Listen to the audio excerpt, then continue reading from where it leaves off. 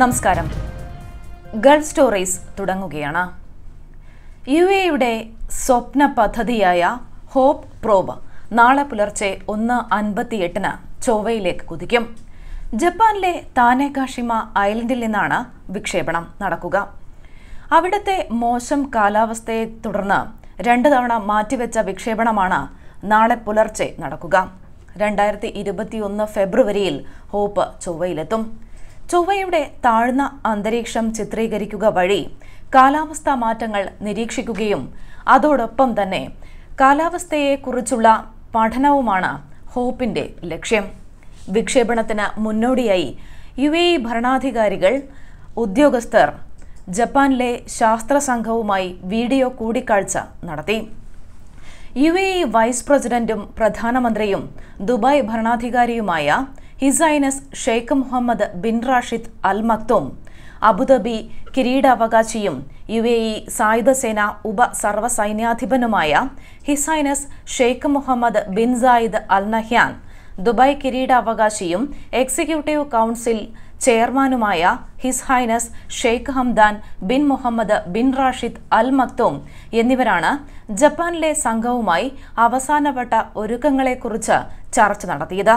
രണ്ടായിരത്തി പതിനാലിലാണ് ദൗത്യം പ്രഖ്യാപിച്ചത്. ആറു വർഷത്തെ കാത്തിരിപ്പിനൊടുവിൽ ഇരുന്നൂറിലേറെ എഞ്ചിനീയർമാരുടെയും ശാസ്ത്രജ്ഞരുടെയും വിദഗ്ധരുടെയും കഠിനാധ്വാനത്തിന്റെ ഫലപ്രാപ്തിയിലേക്ക് കഠിനാധ്വാനം ഫലപ്രാപ്തിയിലേക്ക് എത്തുമ്പോൾ അഭിമാനത്തോടെയാണ് അൽ അമൽ എന്ന ഹോപ്പ് പ്രോബിന്റെ വിജയക്കുതിപ്പിന്റെ വാർത്ത കേൾക്കാനായി യു എയിലെ സ്വദേശികളും വിദേശികളും കാത്തിരിക്കുന്നത്. ഷാർജയിൽ വ്യാജ സ്വർണ നാണയങ്ങൾ വിൽപ്പന നടത്തിയ സംഘത്തെ പോലീസ് അറസ്റ്റ് ചെയ്തു. എട്ട് ഏഷ്യൻ സ്വദേശികളാണ് അറസ്റ്റിലായത്. യഥാർത്ഥത്തിലുള്ള സ്വർണ നാണയം കാണിച്ച വ്യാജ സ്വർണ നാണയം വിൽപ്പന നടത്തുകയാണ് ഇവർ ചെയ്തിരുന്നത്. നിരവധി പേരിൽ നിന്നും പരാതികൾ ഉയർന്ന സാഹചര്യത്തിലാണ് കേസെടുത്ത് അന്വേഷണം ആരംഭിച്ചത്.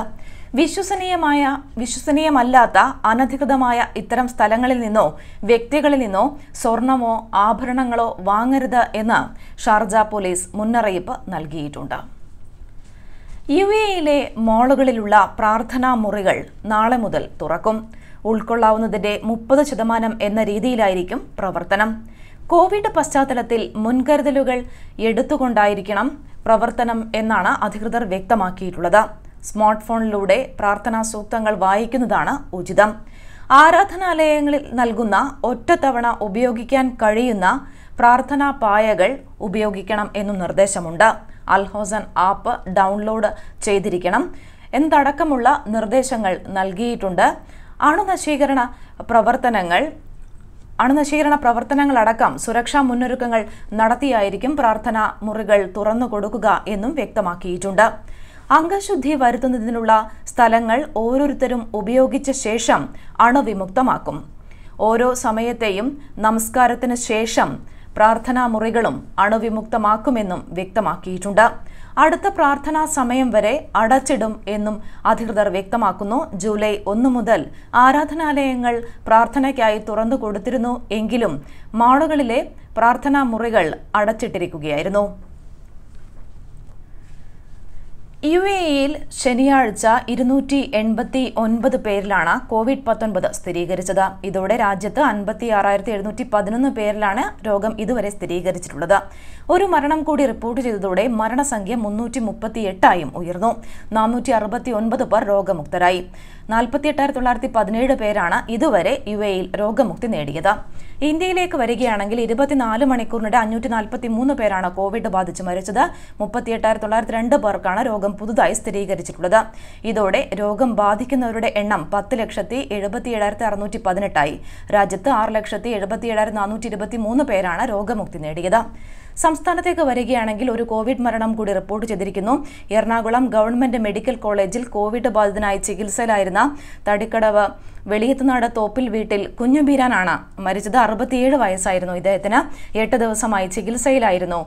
ഇദ്ദേഹം ഇദ്ദേഹത്തിന്റെ ബന്ധുക്കളടക്കം പതിമൂന്ന് പേർ കോവിഡ് ബാധിച്ച് ചികിത്സയിലാണ്. കോവിഡ് സ്ഥിരീകരിച്ച സാഹചര്യത്തിൽ പ്രോട്ടോകോൾ അനുസരിച്ചാകും മൃതദേഹം സംസ്കരിക്കുക എന്നും അധികൃതർ വ്യക്തമാക്കിയിട്ടുണ്ട്. അതേസമയം തന്നെ സംസ്ഥാനത്തിന്റെ മറ്റൊരു സാഹചര്യം എടുക്കുകയാണെങ്കിൽ കോവിഡ് വ്യാപനം അതിതീവ്രമായി പോകുന്ന രീതിയിലേക്ക് കാര്യങ്ങൾ പോകുന്നു എന്നാണ് സംസ്ഥാനത്തു നിന്നുമുള്ള റിപ്പോർട്ടുകൾ സൂചിപ്പിക്കുന്നത്. അതുകൊണ്ട് തന്നെ ആരോഗ്യകരമായിട്ടുള്ള സുരക്ഷാ മുന്നൊരുക്കങ്ങൾ സംസ്ഥാന സർക്കാരും ശക്തമാക്കിയിട്ടുണ്ട്. ആശുപത്രികളടക്കം സജ്ജമാക്കുന്നു എന്നുള്ള വിവരങ്ങളാണ് സംസ്ഥാനത്തു നിന്നും ലഭിക്കുന്നത്. യു എയിൽ ആകാശം മേഘാവൃതമായിരിക്കുമെന്ന് കാലാവസ്ഥാ നിരീക്ഷണ കേന്ദ്രം വ്യക്തമാക്കിയിട്ടുണ്ട്. കിഴക്കൻ മധ്യദേശത്ത് മഴ പെയ്യാനുള്ള സാഹചര്യം ഉണ്ട്. മണിക്കൂറിൽ നാൽപ്പത് കിലോമീറ്റർ വേഗതയിൽ കാറ്റ് വീശും പൊടിക്കാറ്റടിക്കുകയും ചെയ്യും. അന്തരീക്ഷ ഈർപ്പവും വർദ്ധിക്കുമെന്നും കാലാവസ്ഥാ നിരീക്ഷണ കേന്ദ്രം വ്യക്തമാക്കിയിട്ടുണ്ട്. നേരത്തെയൊക്കെ പറഞ്ഞിട്ടുള്ളതാണ് എങ്കിൽ പോലും നാട്ടിലേക്ക് പണം അയക്കുമ്പോൾ ഏറ്റവും കൂടുതൽ മൂല്യം കിട്ടുക എന്നുള്ളതാണ് നാം ഓരോരുത്തരും ചിന്തിക്കുക. Hadi express exchange.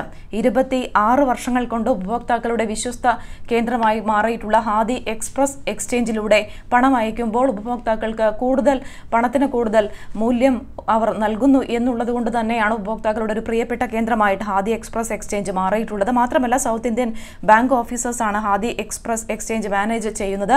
കൂടുതൽ വിവരങ്ങൾ ഇതുമായി ബന്ധപ്പെട്ടുള്ള നിരക്ക് ഉൾപ്പെടെയുള്ള കാര്യങ്ങൾ നിങ്ങൾക്ക് അറിയണമെന്നുണ്ടെങ്കിൽ zero five two seven nine two double three double three എന്ന നമ്പറിലേക്ക് വിളിക്കാവുന്നതാണ്. നിരക്കുമായി ബന്ധപ്പെട്ട കാര്യങ്ങളും മറ്റെല്ലാ കാര്യങ്ങളും നിങ്ങൾക്ക് ഹാദി എക്സ്പ്രസ് എക്സ്ചേഞ്ചുമായി ബന്ധപ്പെട്ടുള്ള കാര്യങ്ങളെല്ലാം ഈ നമ്പറിൽ വിളിച്ച് അന്വേഷിച്ച് നിങ്ങൾക്ക് ബോധ്യപ്പെട്ടാൽ മാത്രം പണം അയക്കുക. പക്ഷേ ഇരുപത്തിയാറ് വർഷം കൊണ്ട് ഉപഭോക്താക്കളുടെ ഇടയിൽ വിശ്വസ്ത കേന്ദ്രമായിട്ട് മാറിയിട്ടുള്ള ഹാദി എക്സ്പ്രസ് എക്സ്ചേഞ്ച് നിങ്ങളുടെ പണത്തിന് ഉയർന്ന മൂല്യം തന്നെ നൽകുമെന്നുള്ള കാര്യത്തിൽ സംശയമേതുമില്ല.